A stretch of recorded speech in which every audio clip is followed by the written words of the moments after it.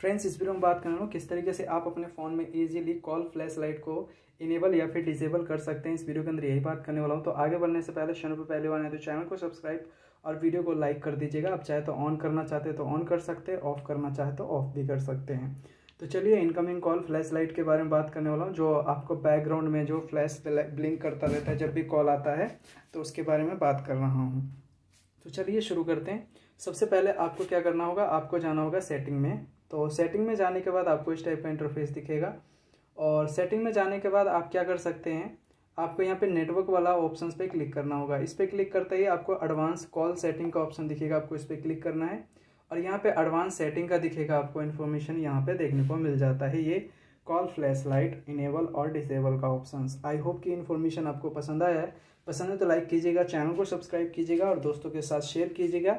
मिलते हैं सिर्फ़ इंटरेस्टिंग वीडियो के साथ। तब तक के लिए Namaskar and goodbye. Take care.